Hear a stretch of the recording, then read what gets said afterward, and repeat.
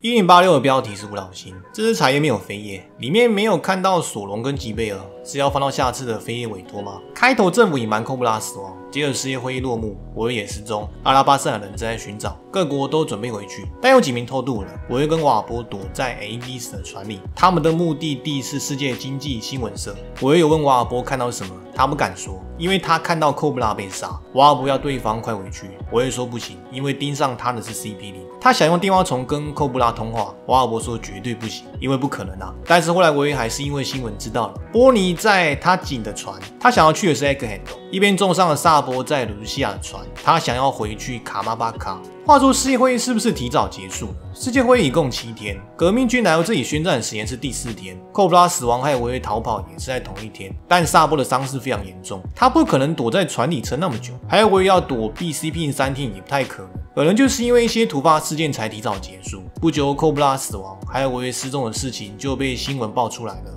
吴老行在谈论萨波的事情，没想到生命会牵扯那么多的地。他们现在要去处理 Egghead 现在看到吴老星都会不自觉的去看座位对不对。伊姆来通话，他想要使用贝加庞克制作的圣母火焰。吴老星这里也说不试试看，也不知道是不是真的。本来他们是想找地方测试，之后看结果再对付 Egg Handle，但伊姆说直接拿鲁西亚测试。吴老星本来有一些顾虑，伊姆说无所谓，而且理由竟然是离这里很近。接着看到所有吴老星的名字，跟之前的撒旦一样，每个人都是从行星来的。话说金星的取名 Venus Julo 也太有意思了，还有他的名字上可以看到和名 V 变成是他的中间名，还有一人也有中间名叫做 Jupiter。话说这是老师取中间名的方式吗？D 也是中间名，V 是罗马数字，十就是十，D 在罗马数字中是五百。另外水星 Mercury 老师写成 Mercury，在行星的取名上跟其他四人有些许不同，这又让我想到了座位，他们每一个人都有自己的职务。感觉就像是一亩生命的大臣，所以在天龙人中是有阶级分配的。最后，一亩吩咐他想要回位，接着各地叛乱，海军让所有赤焰使都出动。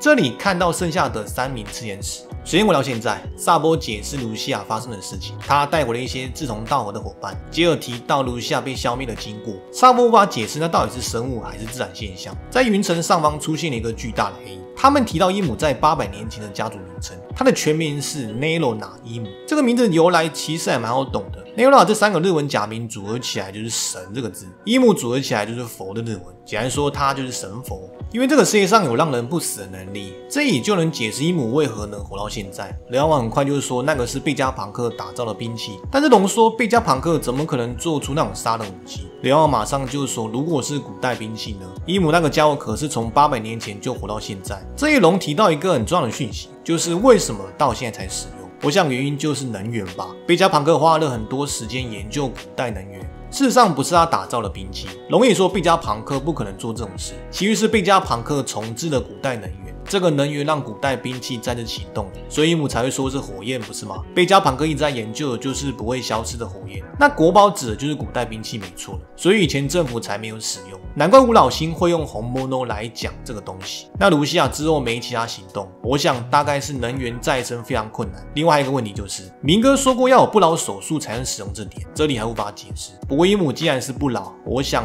也没这个问题。那现在也算是可以解释为什么如此强大的巨大王国会被消灭。他们手上可是有两个古代兵器，就是因为二十位国王这边也有古代兵器，他们才有办法与之抗衡。想起以前我同伊美讲过，如果怀有恶意使用古代兵器，这个世界恐怕就会沉入海底。但只要用来救人，就可以拯救好几千人的性命。有两个古代兵器，怎么还会输给一个古代兵器？我想就是巨大王国不拿古代兵器战争，而是选择用来救人。最后就是缪斯加鲁斗被处死刑。缪斯嘎鲁斗他之前救了白星，处刑理由是包庇愚人族。处刑的人是神之骑士团的最高司令官嘎林格。之前说神之骑士团介入此事，还以为要主持正义，结果根本没有。反对任何天龙人做的事情就是不对，就算你是天龙人也一样。他的姓费格兰斗跟红法是一样的。嘎林格这个名字应该是从加加林这个太空人来的。过去他成功围绕地球的轨道，这跟嘎林格的造型也有关，看起来像是一个三日月，因为月亮正是围绕地球的卫星。